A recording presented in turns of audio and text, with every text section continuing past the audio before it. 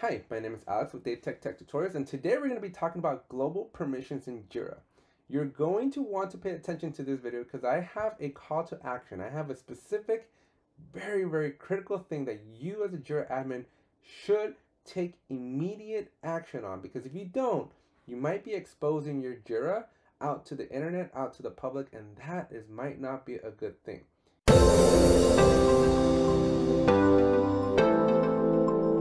If you haven't already, please consider subscribing, drop a like if you get value out of this video, and if you have any questions, comments, or concerns, please let me know in the comment section below. Let's jump into Jira. Alright, once you're in Jira, you're to go up to the top right corner, go to the gear, click on system. Please keep in mind that you do need to be a site level administrator to be able to do this. Otherwise, you're to have a couple of problems here. So once you're here, you're to go to security and find global permissions. Click on that, and this is going to bring you to the main, main global permissions that are in Jira. These are very important. These are beyond the permission schemes that we've dealt with in the past. These apply to the entire instance, not just to a specific Jira project. There's two things that I'm going to be covering in here that are very critical. One of them is very, very, very critical. And I'm going to start with that one first because that one is just so important. I don't even want to sugarcoat it. I know viewer drop off usually doesn't last all the way through the end of the video. So I'm just going to come out swinging. And if you're watching this video, you need to take action on this activity here.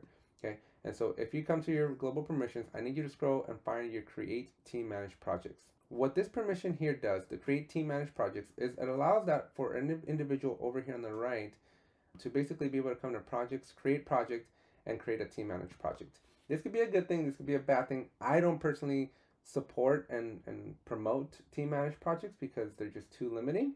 And so I'm a big proponent of just completely being being able to remove the ability to create team managed projects. But I don't know how you run your ship. Uh, I just want you to be aware that you do have this setting because out of the box, this setting here is set to public anyone on the internet, including logged in and anonymous users, can and have the ability to create team managed projects. So if anybody knows your URL to your Jira instance, they could potentially come in here and create projects. So this is a big no-no. You do not want this exposed to the internet. Why Atlassian has this as a default value blows my mind. but if you've ever experienced a situation where you just have too many team managed projects because everybody in your team just keeps spawning projects left and right, you're going to want to change this setting. Also, from a security perspective, you also want to change the setting. So first thing you want to do is come in here and actually delete this option. We don't want this. So we're going to delete the public one. You do not want the public. Trust me, you do not want the public to be able to create team managed projects in your instance. Second, you probably, I don't know about you, but I, again, I personally don't condone don't support these, so I don't promote this. I don't want people creating team managed projects.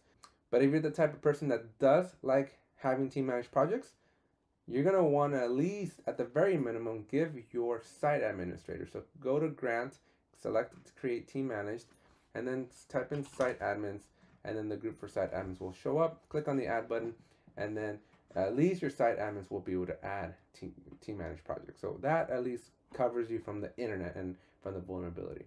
Second thing I want you to look at here is you might find yourself in a situation where you're creating a group, just a general user group, and you put that group in your permission scheme or you assign that group a role that is then mapped to your permission scheme. And then people try, in that group, people try to go and assign a ticket to somebody.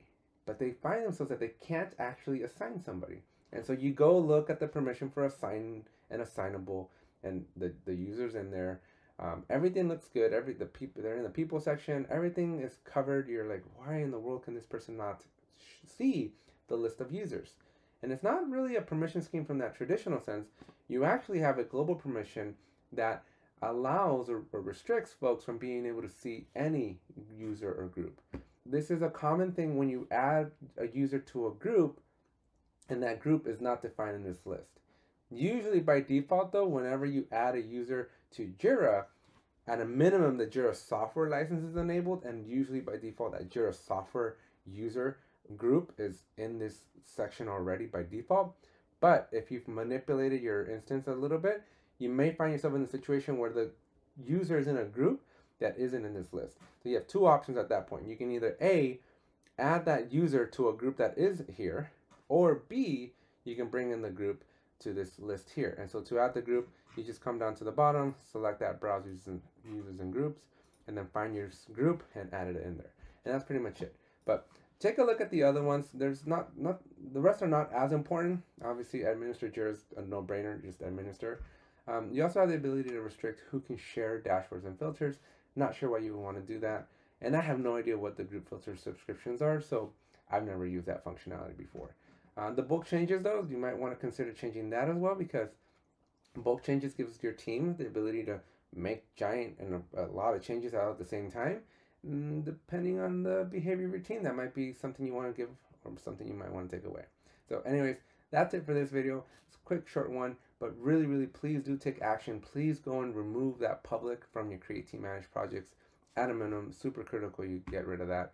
And if you have any questions, comments, or concerns, let me know in the comment section below. And if you made it this far and you haven't subscribed or dropped a like yet, please consider subscribing and dropping a like. Thank you very much, and I'll see you in the next